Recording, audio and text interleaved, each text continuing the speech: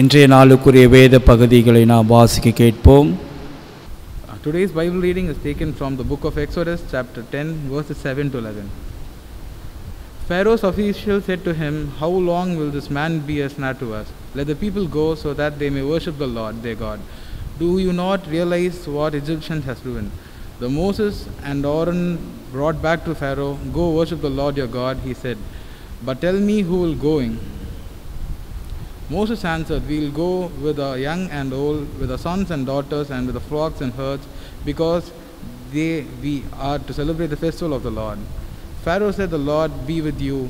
If I let you go along with your women and children, clearly you will not bend on evil. No, have only the men go and worship the Lord, since that's what you have been asking for. Then Moses and Aaron were driven out of Pharaoh's presence. Here ends the Bible reading. Praise be to God.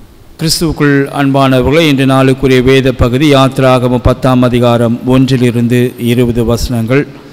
நேற்று எட்டாவது வாதையை குறித்து நாம் பார்த்தோம். இன்றைக்கு ஒன்பதாவது வாதையான வெட்டுக்கிளிகள்.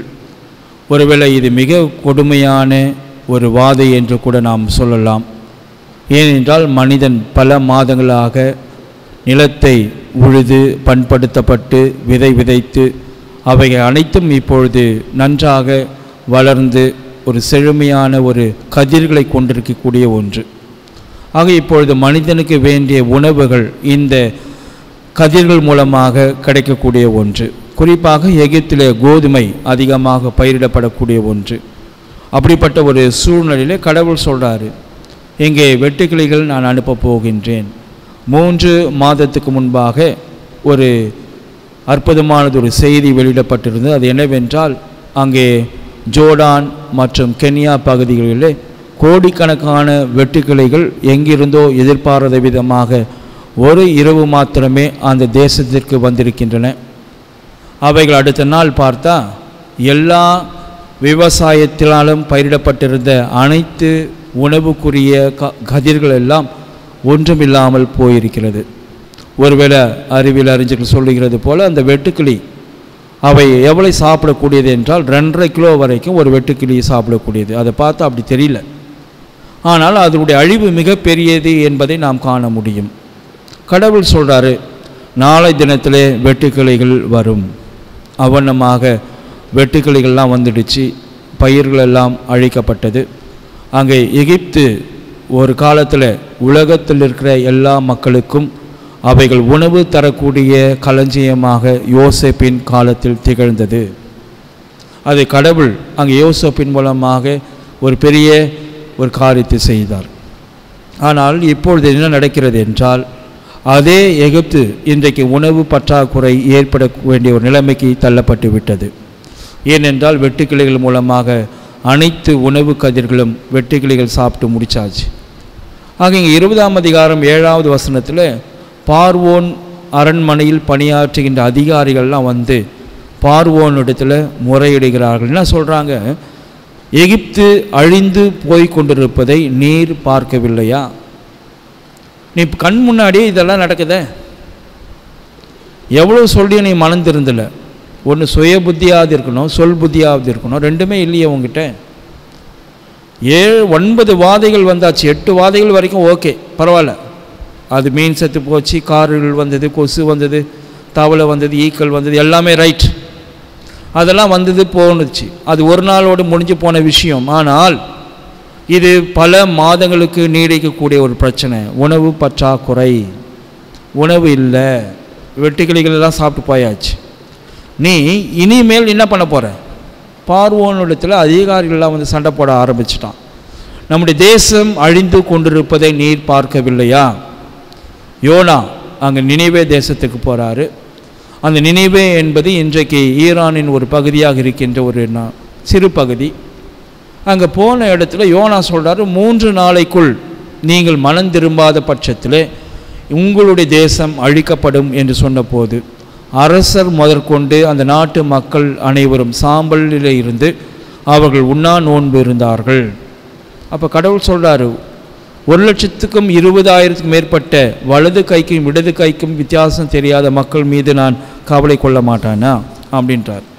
ஒருவேளை அன்பானவர்கள் அப்படிப்பட்ட ஒரு இக்கட்டான சூழ்நிலையில் இப்போ பார்வோன் மனமும் வந்து மோசை கேட்குறாரு நீங்கள் உங்கள் கடவுளை வழிபடுவதற்கு யார் யாரெல்லாம் போக இருக்கிறீர்கள்? எட்டாவது வசனம். யார் யாரெல்லாம் போகணும்? அதை சொல்லு. அப்போது மோசை சொல்கிறாரு என்னிடத்தில் இருக்கிற இளைஞர்கள் முதியவர்கள் எங்களுடைய பிள்ளைகள் எங்களுடைய மனைவிமார்கள் நாங்கள் வைத்து கொண்டிருக்கின்ற மாட்டு மந்தைகள் இவை அனைத்தோடும் கூட நாங்கள் போகப்பட வேண்டும். அப்போ நாங்கள் என்ன பண்ணணும்? எல்லாத்தையும் நாங்கள் எடுத்துக்கொண்டு நாங்கள் போகப்பட வேண்டும். எங்களுக்கு அனுமதி தாருங்க. அப்போது பார்வோன் கேட்குறாரு இது வந்து அநியாயமான ஒரு காரியமாக தெரியலையா உங்களுக்கு? எப்படி நீங்கள் போயிட முடியும்? கடவுள் உங்களுக்கு தராருன்னு நீங்கள் சொல்கிறீங்க ஆனால் உங்களுக்கு முன்பாக இருப்பது தீமை தானே உங்களுக்கு முன்னாடி இருக்கிறது தீமை. ஏன்? உன்னுடைய குழந்தைகள் உன்னுடைய ஆடு மாடு எல்லாத்தையும் கூட்டின்னு போனால் எப்படி போய் நீ சேர்வ? மூணு நாளைக்கு என்ன ஆக போகிறது ஆகதான் இங்கே பதினோராவது வசனம் சொல்கிறாரு நான் குழந்தைகளை அனுப்புவேன். ஆனால் ஆண்டவர் தாம் காக்க வேண்டும். ஆண்டவர் தாமே உங்களை காக்க வேண்டும். ஏனென்றால் உங்களுக்கு முன்னாடி இருப்பது தீமை தான் மூணு நாள் நீங்கள் போகிறது என்றால் பெரிய விஷயமா? பிரச்சனையாச்சு. ஒரு அன்பானவர்கள் அப்படிப்பட்ட ஒரு சூழ்நிலையிலே அங்கே மோசே அங்கே பார்வோன் இடத்துல சொல்கிறாரு இல்லை இல்லை நாங்கள் கண்டிப்பாக போய் தான் ஆகப்பட வேண்டும்.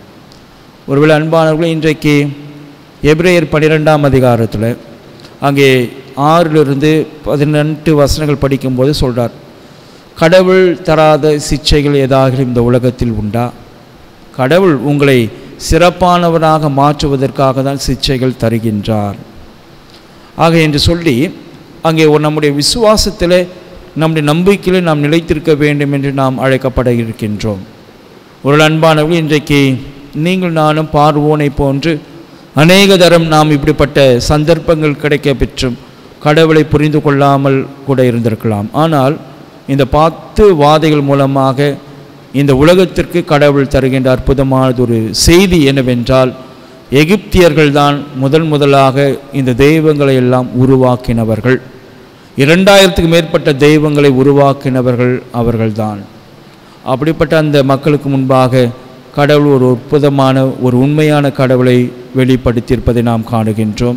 ஆகவே இன்று நாளிலும் நீங்களும் நானும் இறைவனுக்கு முன்பாக நாம் இன்னும் இன்னும் முழுமையான நம்பிக்கை பெற்றவர்களாக நாம் நிலைத்திருக்க இறைவன் தாமே நமக்கு உதவி செய்வாராக.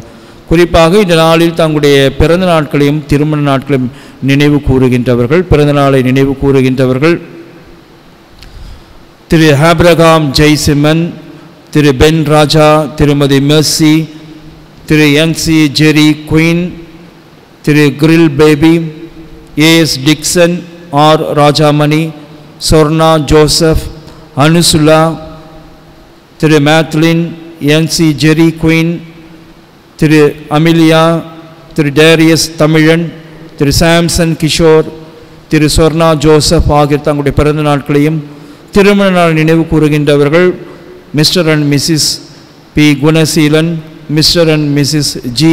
Jayaseelan Rajamani Mr and Mrs Henry Mr and Mrs N. Emmanuel Paulraj Pandiyan ஆகியோர் அவர்கள் திருமண நாளை நினைவு கூறுகிறார்கள். இவர்களுக்காக நாம் ஜபம் செய்வோம்.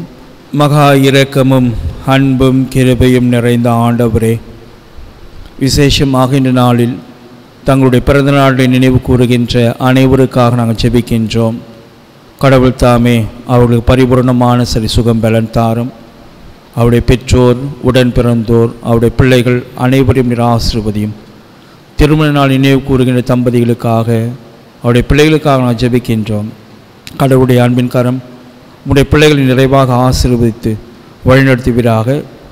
காணொலியின் மூலமாக இந்த செய்தியை தியானத்தை கேட்டு நம்முடைய பிள்ளைகளை ஆசிர்வதியும். நாங்கள் செய்ய இருக்கின்ற எல்லா வேலைகளிலும் நாங்கள் மேற்கொள்ள இருக்கின்ற எங்களுடைய பயணங்களிலும் உம்முடைய அன்பின் கரமிருந்தே எங்கள் ஒவ்வொருவரையும் பாதுகாத்து வழிநடத்துவீராக. கடவுள் தாம் என்ற நாளையும் நாங்கள் ஒரு விசேஷமான ஆசீர்வாதமான நாளாக நாங்கள் அனுசரிக்கப்பட இறைவா நீ அருள் புரிவீராக. உம்முடைய அன்பின் கரம் தொடர்ந்து எங்கள் தூய மார்க்க ஆலயத்தில் உள்ள ஒவ்வொரு குடும்பத்தாரையும் நீரே பாதுகாத்து ஆசீர்வதித்து வழிநடத்த வேண்டும் என்று இயேசுவின் மூலமாக ஜெபிக்கிறோம் கர்த்தாவே. ஆமேன். நம்முடைய ஆண்டவராக இயேசு கிறிஸ்தனுடைய கிருபையும் பிதாவாக தேவனுடைய அன்பும் தூய் ஆவியானவருடைய வழிநடத்துதல் நம் அனைவரோடும் இன்றும் என்றும் சதா காலங்களிலும் நிலைத்திருப்பதாக.